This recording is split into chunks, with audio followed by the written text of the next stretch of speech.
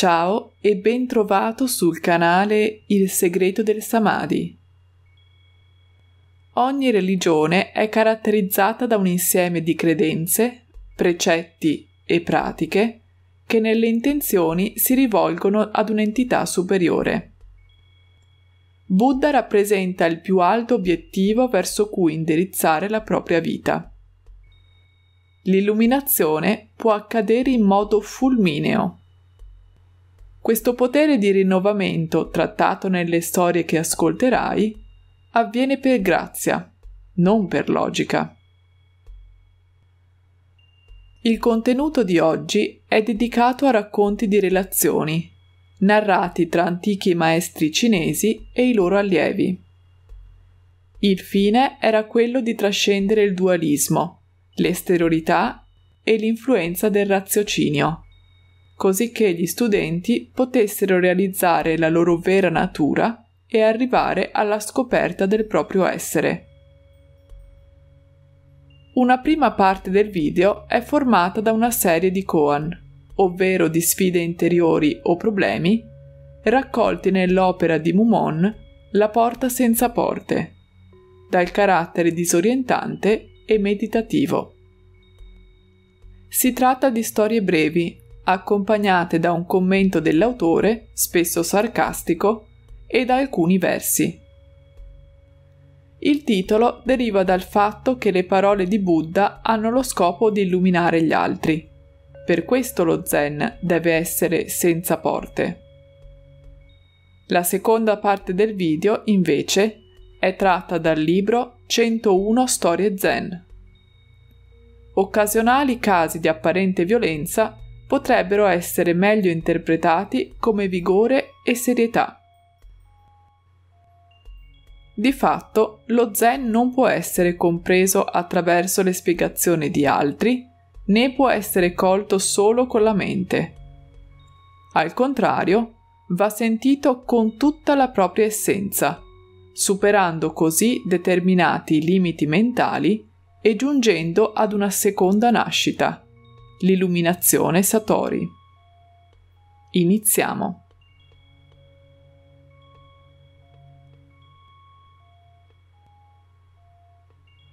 Un monaco chiese a Joshu, un maestro zen cinese, se esistesse un cane con la natura di un Buddha.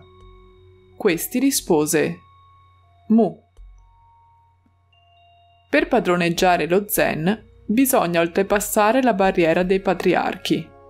Se non lo si fa e non si elimina il vecchio modo di pensare, allora si rischia di essere come un fantasma che si aggrappa ai cespugli e alle erbacce. La barriera dei patriarchi è la mu, vacuità, che è l'antiporta per lo zen. Se si passa attraverso di essa, non solo si vedrà Joshu faccia a faccia, ma si andrà di pari passo coi successivi patriarchi è necessario concentrarsi sul termine mu continuamente.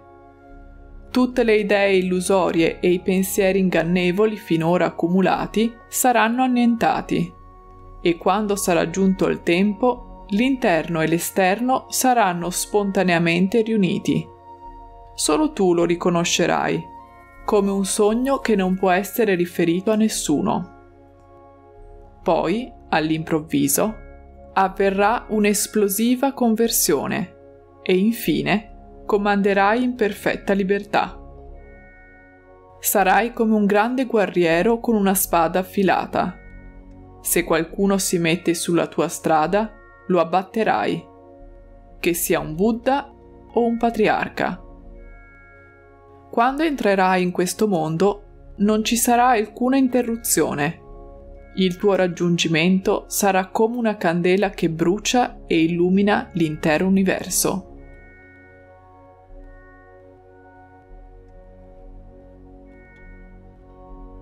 Quando Yakujo teneva alcune conferenze zen, un vecchio vi assisteva senza essere visto.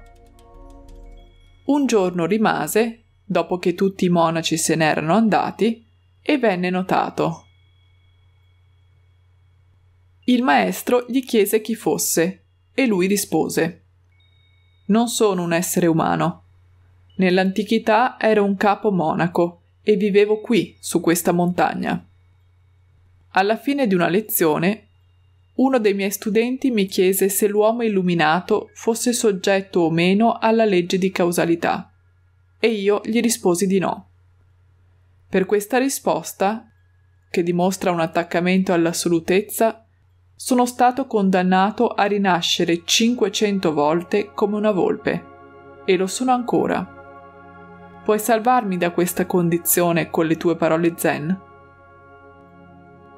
Il maestro disse L'uomo non può ignorare la legge di causalità. In quel momento il vecchio fu illuminato. Sono finalmente libero, esclamò, rendendo omaggio con un profondo inchino. Me ne resterò su questa montagna. Ma ho ancora un favore da chiederti seppellisci il mio corpo, come quello di un monaco morto. Il giorno dopo, Yakujo diede l'ordine ai seguaci di prepararsi a partecipare al funerale di un monaco. Li condusse in una grotta della montagna, tirò fuori il cadavere di una vecchia volpe ed eseguì la cerimonia di cremazione. Quella sera il maestro tenne un discorso ai monaci e raccontò la storia sulla legge di causalità. Uno di loro, Obaku, chiese Ma se il monaco che è stato condannato a rinascere come una volpe avesse dato la risposta corretta, cosa sarebbe successo? Yakujo rispose Vieni qui vicino a me e te lo dirò. Lui si avvicinò e si circondò le orecchie con le mani. Il maestro, ridendo, esclamò Pensavo che il barbaro avesse una barba rossa, e ora ce l'ho di fronte. Come può questa risposta rendere la volpe libera? Per capirlo bisogna avere un solo occhio. Lo stesso dado mostra due facce, controllato e non controllato, e sono entrambe un grave errore.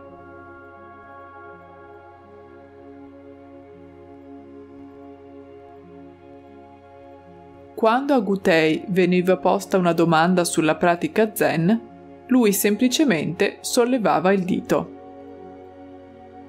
Una volta un visitatore chiese al suo attendente che cosa insegnasse il maestro. Il ragazzo, imitandolo, sollevò subito il suo dito. Vedendo ciò, Gutei glielo tagliò e il giovane cominciò a fuggire in preda al dolore. Il maestro lo chiamò e gli sollevò il dito. In quel momento l'allievo fu improvvisamente illuminato. Tempo dopo, quando Gutei stava per morire, disse ai suoi seguaci Io ho ricevuto un unico dito zen dal mio insegnante e l'ho usato per tutta la mia vita, ma non sono riuscito a renderlo fiero. Poi morì.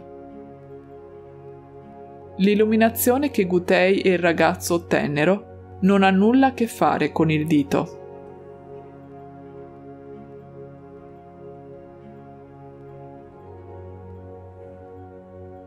Kyogon affermava che lo zen è come un uomo appeso ad un albero per i denti, sull'orlo di un precipizio. Le sue mani non afferrano nessun ramo, i suoi piedi sono privi di sostegno mentre c'è una persona che gli chiede perché Bodhidharma sia venuta in Cina dall'India. Se l'uomo sull'albero non risponde, fallisce, e se risponde, cade e perde la vita. In una tale situazione, l'eloquenza più talentuosa non serve a nulla, e nemmeno l'aver memorizzato tutti i sutra. Se sei capace di dare la risposta giusta, anche se la tua strada passata era di morte, aprirai un nuovo sentiero di vita. In caso contrario, devi attendere il futuro Buddha e chiedere a lui.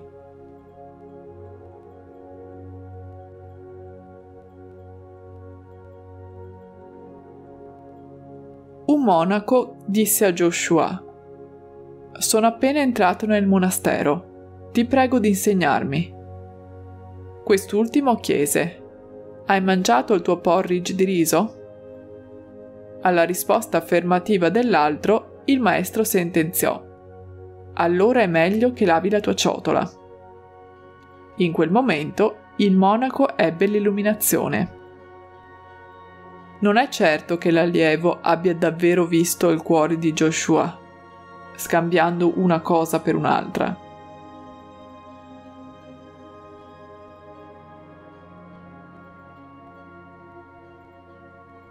Gettan disse ai suoi studenti: Kai Chu, il primo costruttore di ruote della Cina, ne realizzò due di 50 raggi ciascuna.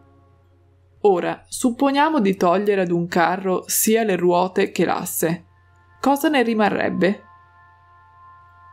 Per Mumon, se qualcuno può rispondere a questa domanda all'istante, i suoi occhi saranno come una meteora e la sua mente come un lampo. Quando la ruota spirituale gira, nemmeno il maestro può fermarla, perché essa gira in tutte le direzioni.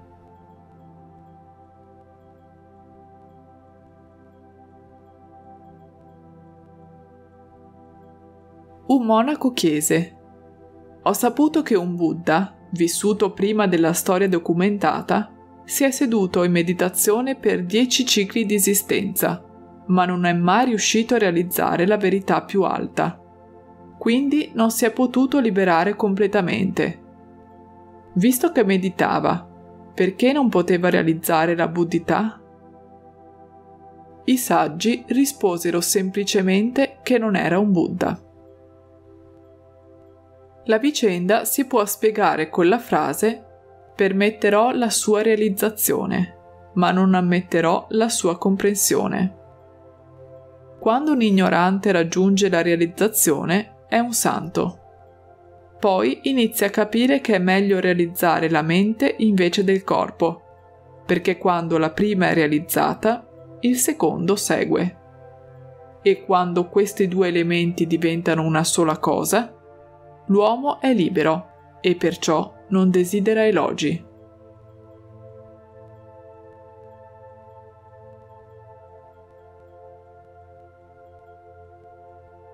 Tokusan si recò nella sala da pranzo con in mano la sua ciotola. Fu intercettato da Seppo, che gli chiese: Il tamburo per la cena non è ancora stato battuto. Dove stai andando con la tua ciotola? Quando l'altro tornò nella sua stanza, Seppo raccontò il fatto a Ganto, che sentenziò. Il vecchio Tokusan è famoso, ma non conosce la verità ultima. L'interessato venne a conoscenza delle parole di Ganto e lo affrontò. Ho sentito che tu non mi approvi. Ricevette un'ammissione silente dall'interlocutore e si allontanò. Il giorno seguente tenne un tipo di lezione completamente diversa e i monaci risero e applaudirono. Anche Ganto ne fu entusiasta al punto da complimentarsi con lui per aver imparato a dire la verità ultima.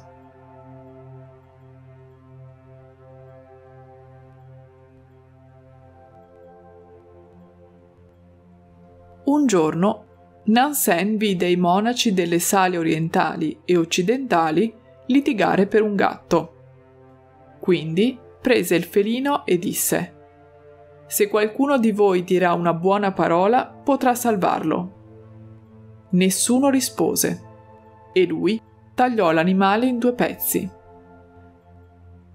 Quella sera Nansen raccontò l'accaduto a Joshua, che era appena tornato al monastero. Quest'ultimo si tolse i sandali, se li mise in testa e se ne andò dicendo Se tu fossi stato lì avresti potuto salvare il gatto. Perché Joshua si è messo i sandali in testa? Se qualcuno risponde a questa domanda, capirà perché Nansen ha parlato in quel modo per far rispettare l'editto, se no avrebbe dovuto guardarsi le spalle. Se Joshua fosse stato presente, avrebbe fatto rispettare l'editto in modo opposto avrebbe sfoderato la spada e Nansen avrebbe implorato per la propria vita.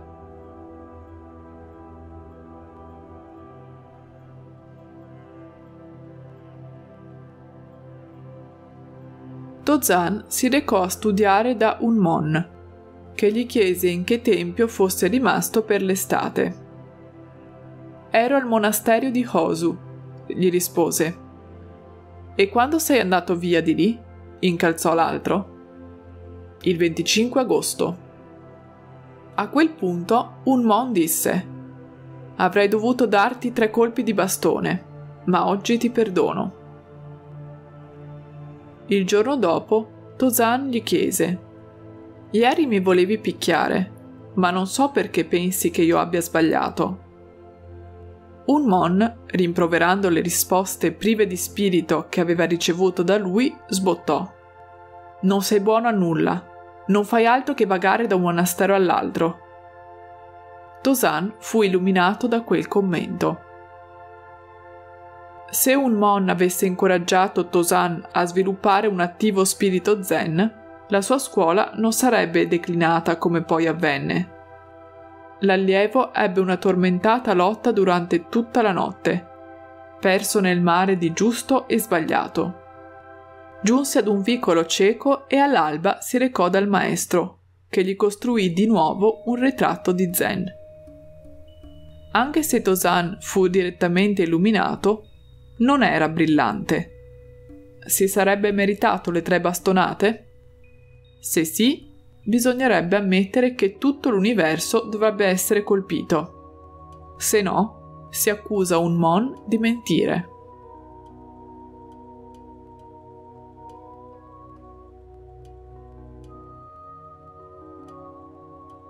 Una volta un Mon chiese Il mondo è così vasto, perché rispondi ad una campana e indossi abiti cerimoniali? Secondo il commento di Mumon, quando si studia lo zen non c'è bisogno di seguire il suono o il colore o la forma, anche se alcuni hanno raggiunto l'intuizione in questo modo. Nonostante sia una modalità comune di studiare, non si tratta del vero zen. L'autentico studente zen, infatti, controlla il suono, il colore e la forma e attualizza la verità nella sua vita quotidiana.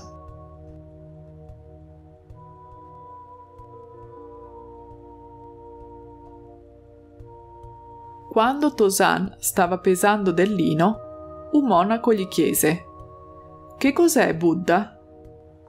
Lui rispose È tre libbre di lino. La risposta è misteriosa come il suo significato. Chiunque parli di affermazioni e negazioni vive nella regione giusta o sbagliata.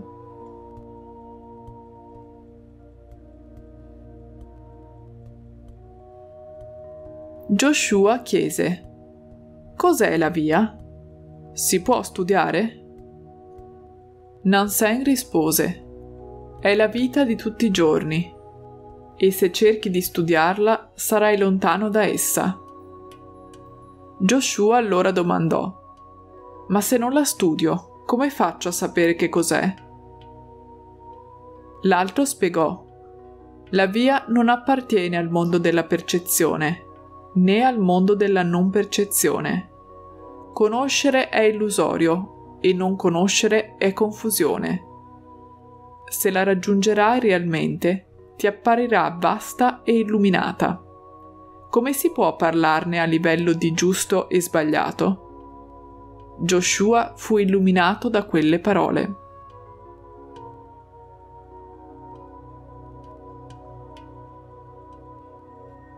Quando si emancipò, il sesto patriarca ricevette dal quinto la coppa e la veste donate dal Buddha ai suoi successori.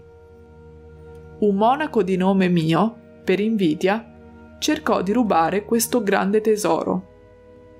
Il patriarca, allora, pose gli oggetti su una pietra e gli disse Questi simboleggiano solo la fede. Non serve a niente litigare per accaparrarseli.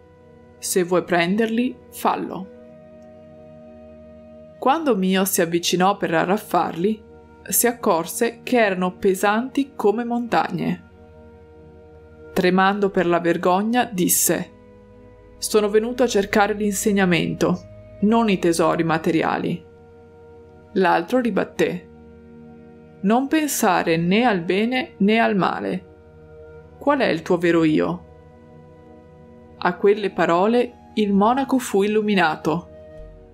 Piangendo domandò Oltre a queste parole e al mistero che mi hai rivelato, c'è un significato più profondo? Il patriarca rispose Quello che ti ho detto non è affatto un segreto. Quando realizzi il tuo vero io, lì troverai tutta la profondità.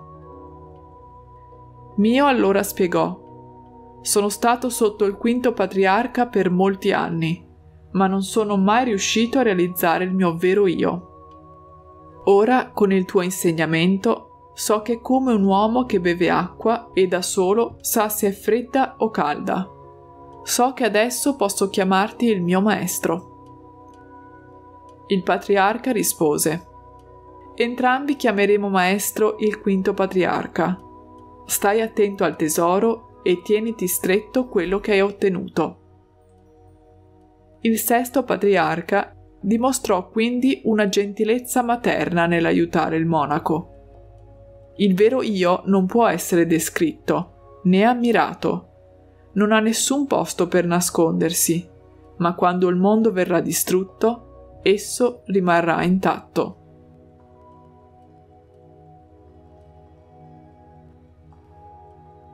Un monaco chiese a Fuketsu, senza parlare e senza silenzio, come puoi esprimere la verità? Lui rispose Ricordo sempre la primavera nel sud della Cina e gli uccelli che cantavano tra gli innumerevoli tipi di fiori profumati. Fuketsu era solito avere un'illuminazione zen ogni volta che ne aveva l'opportunità, ma questa volta non ci riuscì e si limitò a prendere dei versi in prestito da una vecchia poesia cinese.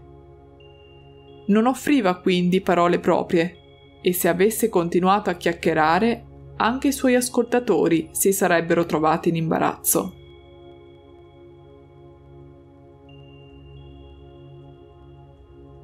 In sogno, Kyozan si recò nella terra pura di Maitreya e si mise a sedere.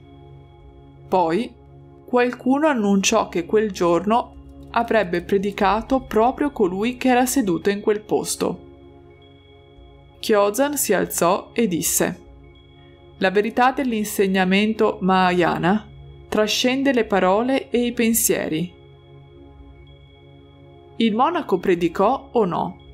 Secondo Mumon, quando apre bocca è perduto. Se non la apre, lo stesso. Ma anche se la apre e la chiude, è molto distante dalla verità.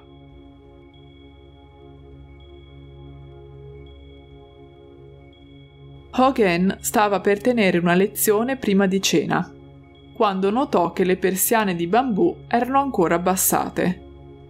Le indicò e due allievi si alzarono dal pubblico per andare ad arrotolarle. Osservando il momento, lui disse Lo stato del primo monaco è buono, quello del secondo meno. Quale dei due monaci guadagnò la fiducia di Hogan? e quale la perse. Per Mumon, se qualcuno ha occhio, capirà in cosa ha sbagliato il maestro. Tuttavia è bene stare in guardia dal discutere di guadagno e perdita.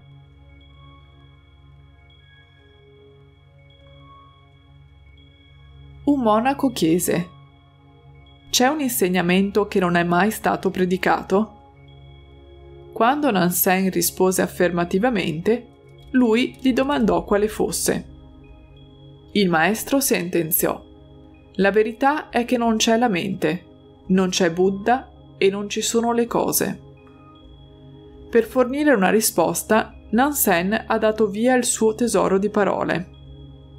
Queste ultime in realtà non hanno potere. Anche se la montagna diventa mare, le parole non possono aprire la mente di un'altra persona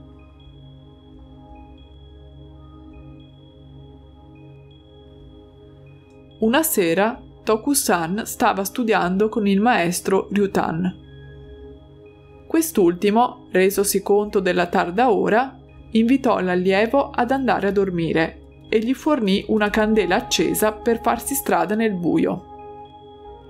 Proprio quando stava per prenderla in mano, Ryutan spense la fiamma. In quel momento lo studente ebbe una realizzazione e sentenziò Non dubiterò più delle parole dell'insegnante. Il giorno seguente, durante la lezione, Ryutan disse ai presenti Vedo un monaco fra di voi, le cui zanne sono come gli alberi di spade. La sua bocca è come una ciotola di sangue. Colpitelo con un bastone, ed egli non girerà nemmeno la testa per guardarvi. Un giorno o l'altro, lui scalerà la più alta delle vette e porterà lì il mio insegnamento. Tokusan portò le sue note sul sutra del diamante in cima alla scala. Le bruciò e sentenziò anche se avete imparato tutti i segreti del mondo, la vostra conoscenza è come una goccia d'acqua dispersa nel grande oceano. Poi, facendo un inchino, prese commiato dal suo insegnante e se ne andò dal monastero.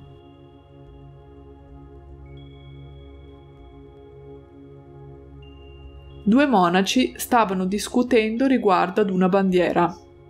Uno diceva che essa si muoveva, mentre l'altro sosteneva che fosse il vento ad agitarsi. Il sesto patriarca si trovò a passare di lì ed intervenne. Non sono né il vento né la bandiera a muoversi, ma la vostra onorabile mente. I due litiganti tacquero in soggezione.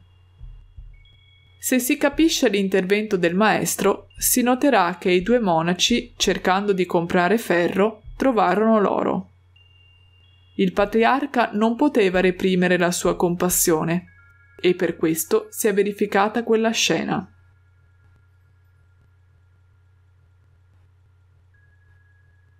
Dai Bai domandò a Baso Cos'è Buddha? Lui rispose La mente è Buddha.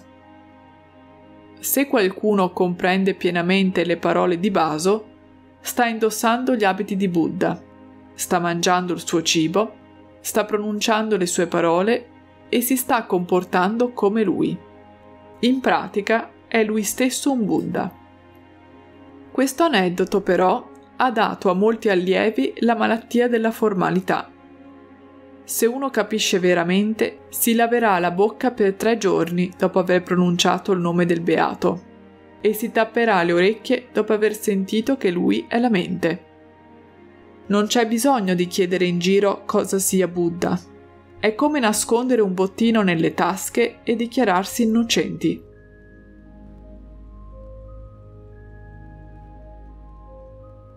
Un monaco itinerante chiese ad un'anziana donna la strada per Taizan, un tempio popolare che si supponeva donasse saggezza a chi lo venerava. La vecchia gli rispose di proseguire dritto e quando il monaco avanzò qualche passo, lei commentò che anche lui era un comune frequentatore di chiese. Quando Joshu venne a sapere di questo episodio, decise di investigare. Il giorno dopo chiese alla signora le stesse indicazioni stradali per il tempio e ricevette la stessa risposta data al monaco tempo prima. La donna capiva come si pianifica la guerra ma non sapeva come le spie tendono agguati. Joshua fece il lavoro della spia, ma non era un abile generale. Ma qual era il senso di una investigazione? Il messaggio è che quando la domanda è comune, la risposta è altrettanto comune.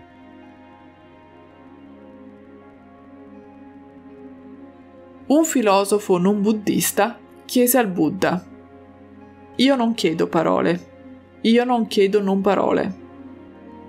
Il beato si sedette e l'altro gli disse con ammirazione Con la tua grande misericordia hai eliminato tutte le mie illusioni e mi hai fatto entrare nel vero sentiero.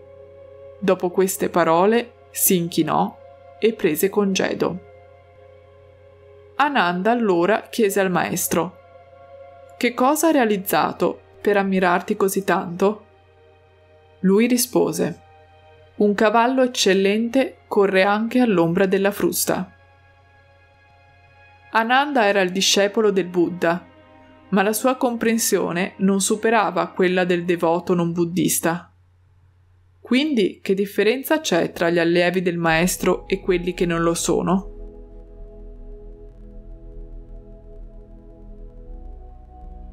Un monaco chiese a Baso: Cos'è Buddha? Lui rispose: Nessuna mente, nessun Buddha. Se qualcuno capisce questo, ha finito di studiare lo Zen. Se incontrerà uno spadaccino, gli mostrerà la spada. Quando si troverà di fronte ad un poeta, gli offrirà dei versi. Quando parlerà, dirà solo una parte di quel che voleva. Non bisogna mai divulgare subito tutto l'argomento.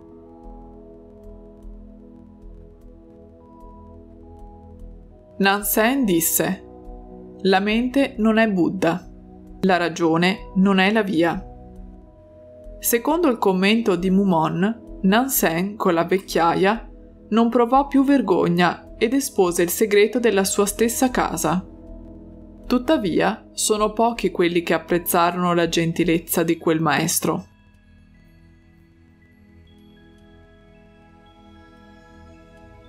Gozo notò che Seijo aveva due anime, una sempre malata a casa e l'altra di una donna sposata con due figli. Qual era la sua vera anima? Quando si capisce questo, si saprà che è possibile uscire da un involucro ed entrare in un altro, come se ci si fermasse per una sola notte in un albergo. Ma se non si riesce a comprendere, nel momento in cui terra, acqua, fuoco e aria si separeranno, ci si ritroverà come un granchio immerso in un liquido bollente, che lotta con le sue chele.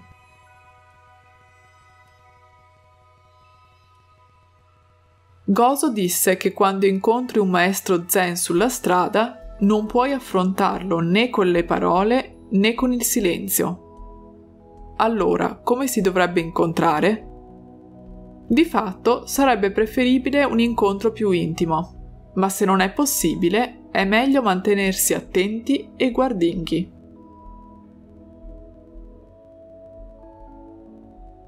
Gozo disse che quando un bufalo esce dal suo recinto verso l'orlo dell'abisso, le sue corna, la sua testa e i suoi zoccoli passano tutti attraverso, ma la coda no. Perché? Secondo il parere di Mumon, se qualcuno a questo punto riesce ad aprire un occhio e a dire una parola di zen, è in grado di ripagare i quattro tipi di amore che hanno favorito lui stesso e tutti gli esseri senzienti sotto di lui. Se invece non può dire una parola di vero zen, dovrebbe tornare a riflettere su quella coda. Forse, per la prima volta, realizzerà qualcosa.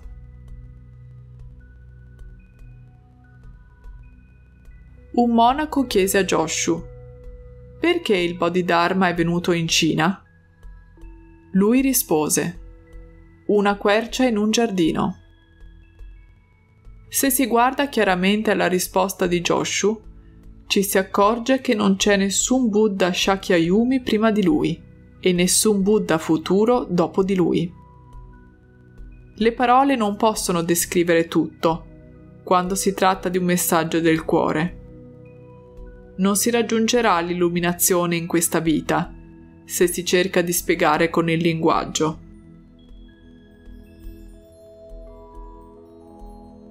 Hyakujo desiderava aprire un nuovo monastero e disse ai suoi allievi che sarebbe stato nominato maestro colui che avesse risposto più abilmente ad una domanda.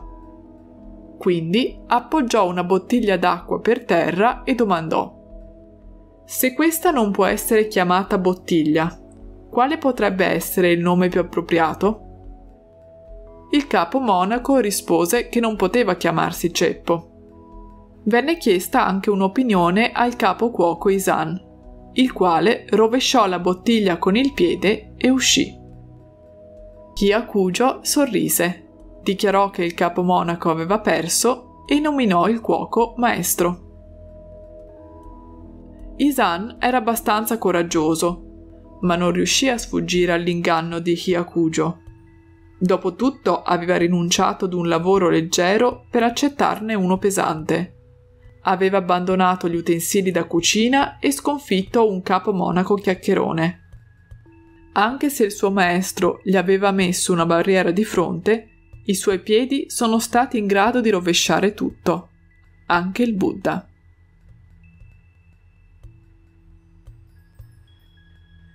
Bodhidharma era seduto di fronte al secondo patriarca, che stava in piedi nella neve. Quest'ultimo si tagliò il braccio e piangendo disse La mia mente non è ancora in pace. Ti imploro, pacificala. Lo farò, se porterai la tua mente qui, rispose il monaco. L'ho cercata, ma non riesco a trattenerla, spiegò l'altro. Vedi, ora è pacificata, sentenziò Bodhidharma. Il maestro indù andò dall'India alla Cina, percorrendo migliaia di miglia. Questo perché sollevò le onde dove non c'era vento.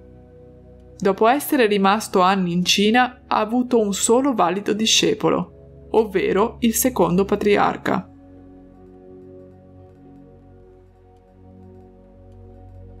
Una volta Manjusri andò all'assemblea degli antichi Buddha, ma vi giunse quando era già terminata e tutti i partecipanti stavano facendo ritorno al proprio luogo di origine.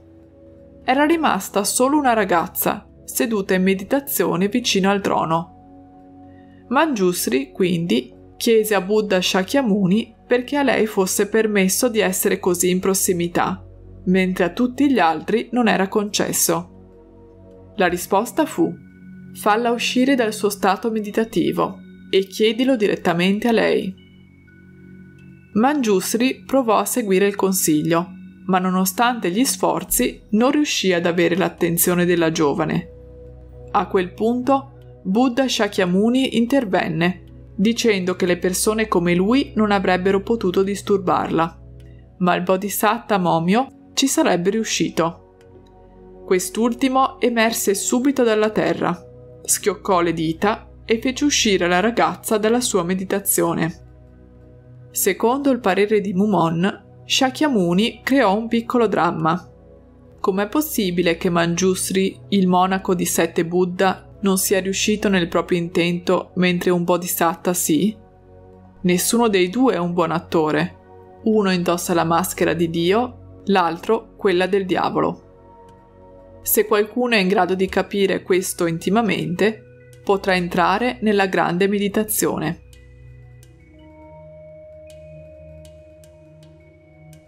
Shuzan tese il suo bastone corto e disse ai suoi discepoli: Se questo lo chiamate bastone, vi opponete alla sua realtà, ma se non lo chiamate così, ignorate il fatto. Quindi, qual è il termine che userete?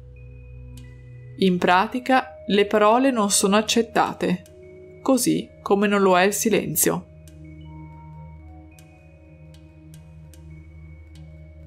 Bascio disse ai suoi discepoli, Quando avrete un bastone, vi darò un bastone. Quando non lo avrete, ve lo toglierò. In base al commento di Mumon, il bastone è d'aiuto per attraversare un fiume quando si sta rincasando di notte ma se lo chiami così, entrerai all'inferno.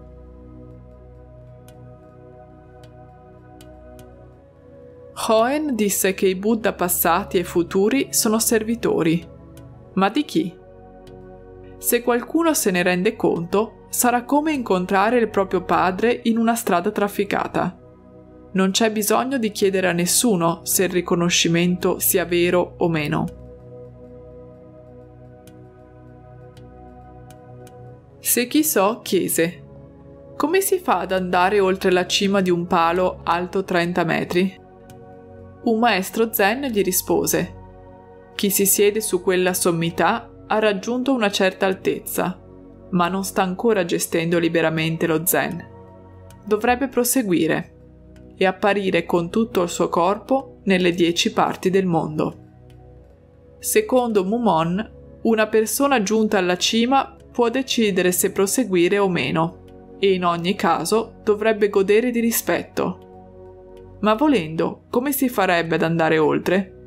L'uomo al quale manca il terzo occhio dell'intuizione si aggrapperà alla misura dei 30 metri, salterà da lì e si ucciderà come un cieco che inganna altri ciechi.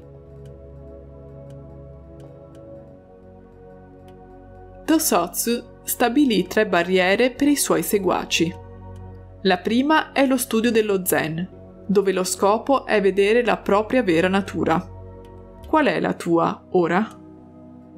La seconda barriera è che, una volta realizzata la propria natura, si otterrà la libertà dalla nascita e dalla morte. Ma quando la tua vista ti abbandonerà, come potrai essere libero davvero da ciò? La terza barriera è conoscere la tua ultima destinazione. Quando i quattro elementi si separeranno, dove andrai? Chiunque riesca a superare queste barriere sarà un maestro ovunque si trovi, in qualsiasi circostanza. Altrimenti, ascolta. Se mandi giù in fretta il tuo cibo, ti riempirà facilmente, ma se lo mastichi bene, può sostenerti. Un allievo zen chiese tutti i Buddha delle dieci parti dell'universo entrano nell'unica strada diretta al nirvana. Ma da dove parte? Kempo rispose alzando il proprio bastone da passeggio e disegnando il numero uno nell'aria. Lo studente pose la stessa domanda ad Unmon.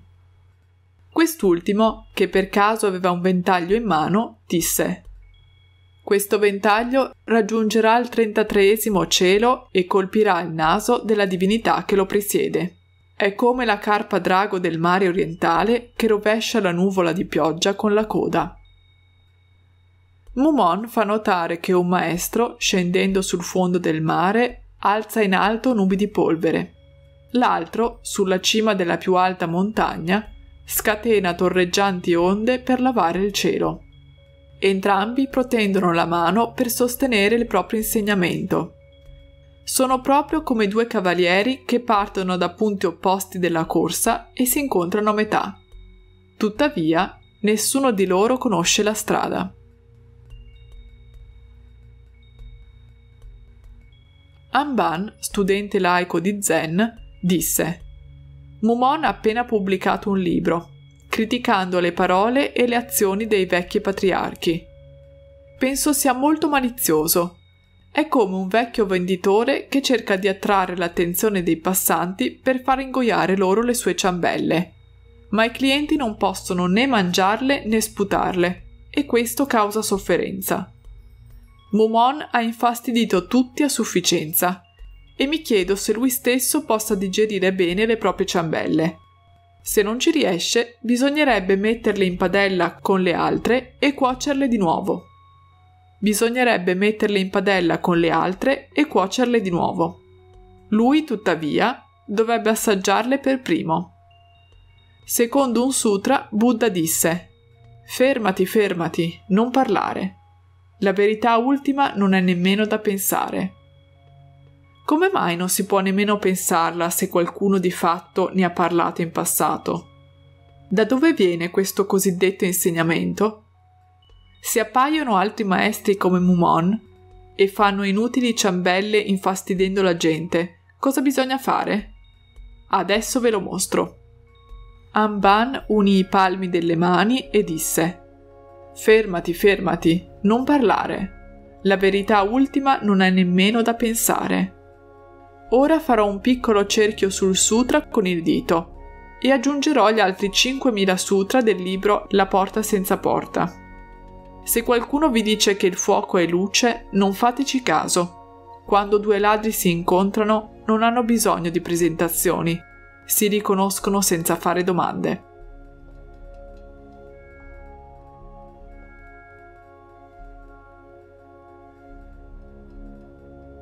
Nel suo ultimo giorno di vita, Tanzan scrisse 60 cartoline postali e incaricò un suo assistente di spedirle. Poi morì. Sulle cartoline c'era scritto Sto per andarmene da questo mondo. Questo è il mio ultimo annuncio. Tanzan, 27 luglio 1892.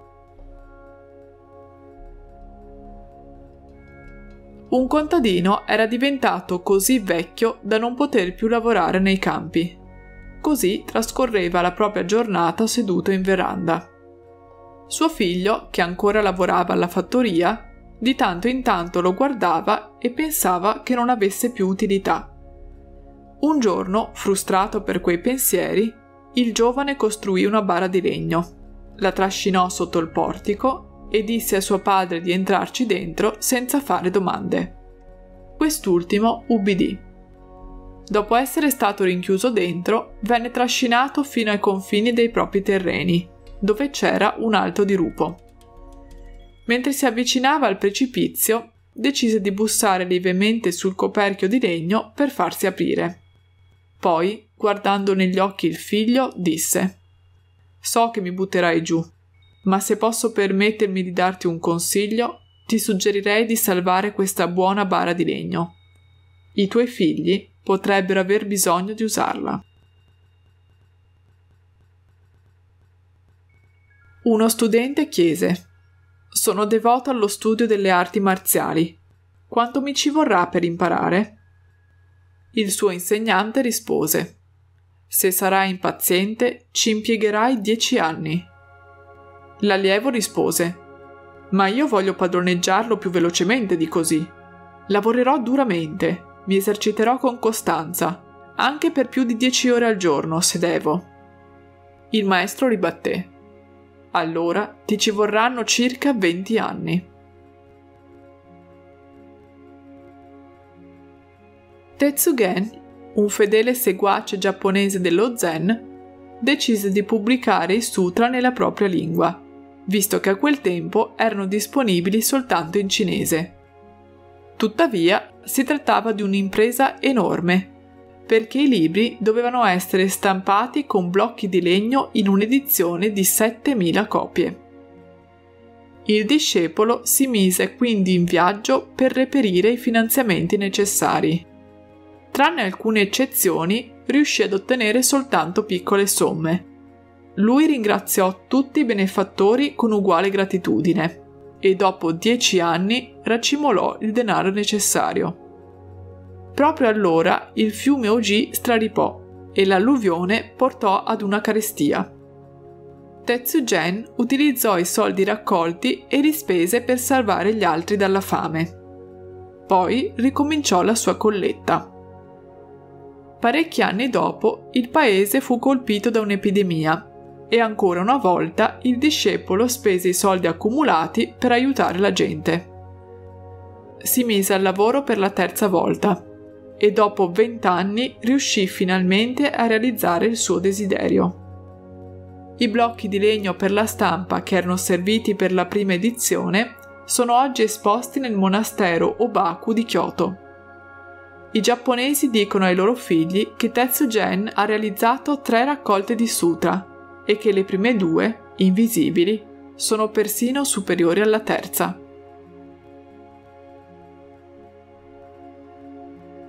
Gessen era un monaco conosciuto come artista taccagno, perché aveva prezzi molto alti e richiedeva di essere pagato in anticipo prima di mettersi a disegnare.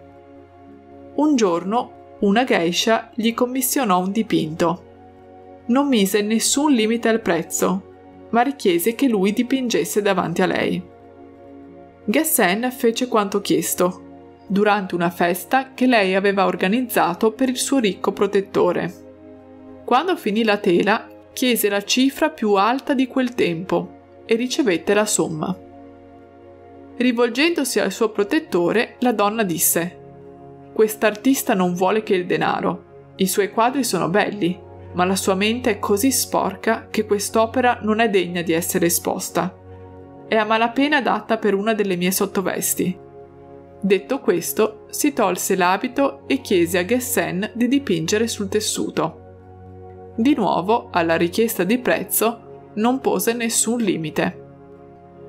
Lui eseguì e ottenne la cifra spropositata che aveva richiesto. In seguito si seppe che Gessen era tanto avido di denaro perché spesso la sua provincia era afflitta da una terribile carestia e i ricchi non aiutavano i poveri. Così lui, per affrontare queste emergenze, raccoglieva grano e lo conservava in un magazzino segreto. Voleva anche ricostruire la strada che collegava il suo villaggio al santuario nazionale e che versava in pessime condizioni. Infine desiderava realizzare il volere del suo defunto maestro di costruire un tempio. Appena Gessen riuscì a realizzare questi tre obiettivi, buttò via i pennelli e gli attrezzi da pittore si ritirò sulle montagne e non dipinse mai più.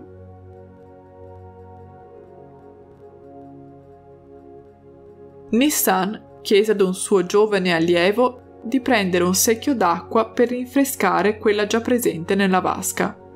Dopo aver eseguito, lo studente gettò a terra il liquido che avanzava.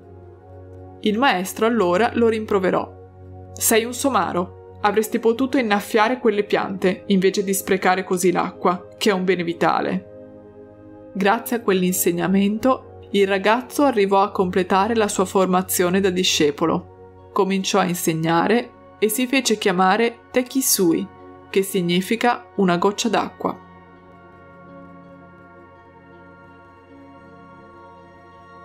Un giorno, mentre stava affrontando il viaggio di ritorno verso casa, un giovane buddista giunse sulle rive di un ampio fiume.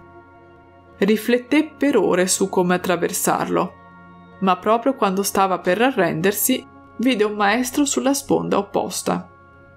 Il ragazzo chiese subito aiuto. Oh saggio, puoi dirmi come arrivare all'altra riva di questo torrente? L'insegnante, dopo aver meditato per un momento, rispose Figlio mio, sei già dall'altra parte.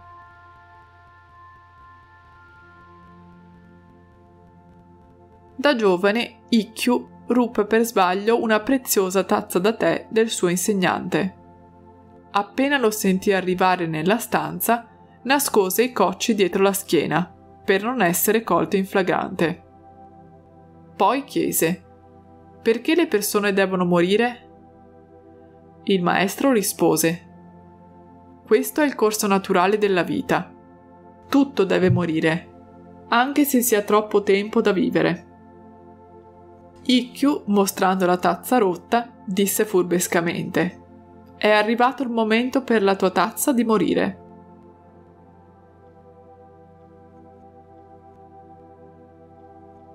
Tosui fu il maestro zen che lasciò il formalismo dei templi per vivere sotto un ponte con i mendicanti.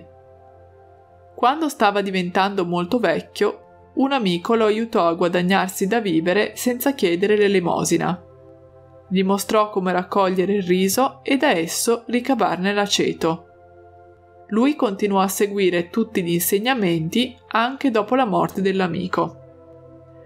Mentre stava facendo l'aceto, uno dei mendicanti gli diede una foto del Buddha. Tossui l'appese al muro della sua capanna e di fianco mise un cartello con questa frase.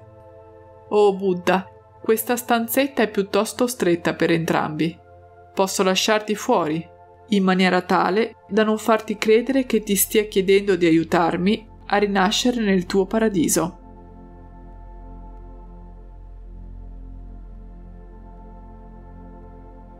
Uno studente chiese aiuto al proprio insegnante. La mia meditazione è orribile, mi sento distratto o mi fanno male le gambe, oppure capita che mi addormenti. Lui rispose, Tranquillo, passerà. Una settimana dopo l'allievo comunicò grandi miglioramenti. Avevi ragione, la mia meditazione è meravigliosa. Mi sento consapevole, pacifico e vivo. Il maestro allora ribatté. Tranquillo, passerà.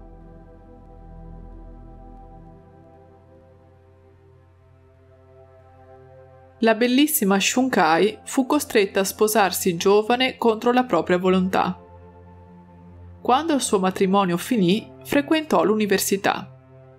Qui si innamorava e faceva innamorare chiunque la vedesse. Quando lo studio della filosofia non le bastò più, andò in un tempio per imparare lo zen. Persino lì gli studenti erano attratti da lei. La sua intera vita era colma d'amore. L'abate del luogo, Mokurai, era molto severo e pretendeva disciplina e rispetto per le regole. Nel Giappone di oggi, tutto lo zelo per il buddismo che questi preti hanno perso pare l'abbiano acquistato nel prender moglie. Quando Mokurai trovava queste donne in uno dei suoi templi, le cacciava, ma ne arrivavano sempre di più. In uno dei monasteri, la moglie del prete principale si ingelosì della bellezza e della sincerità di Shunkai. Sentir decantare dagli studenti la sua serietà la adirava. Quindi cominciò a raccontare bugie su di lei, alludendo ad una sua storia romantica con un giovane. Il risultato fu che lui venne espulso e lei fu trasferita altrove. Io avrò commesso un peccato d'amore, pensò Shunkai. Ma se il mio amico deve subire un trattamento così ingiusto, nel tempio non dovrebbe andarci nemmeno la moglie del prete. Quella stessa notte, con un bidone di petrolio, diede fuoco all'antico edificio. La mattina dopo la polizia l'arrestò. Un giovane avvocato si interessò al suo caso e si prodigò per farle avere una condanna mite. Non mi aiuti, disse lei potrei decidere di fare qualcosa di ancora peggiore. Dopo aver scontato sette anni di carcere, Shunkai venne trattata come un avanzo di galera. Nessuno voleva più avvicinarla, nemmeno gli adepti dello Zen, che dovrebbero credere nell'illuminazione in questa vita e con questo corpo. Scoprì così che lo Zen e i suoi seguaci erano due cose diverse. Era debole, ammalata e cadde in miseria. Morì appena trentenne, ancora bellissima. Nel vano tentativo di guadagnarsi il pane, scrisse un libro sulla propria vita. Così il popolo giapponese conobbe la sua storia. Tutti coloro che avevano respinto Shunkai, l'avevano calunniata e odiata, lessero le sue vicende con lacrime di rimorso. Grazie per aver ascoltato questi racconti fino alla fine. Scrivi nei commenti quale ti è piaciuto di più e ricorda di iscriverti al canale per continuare ad ascoltare il maestro. Ti aspetto al prossimo video. Buddha ti benedice.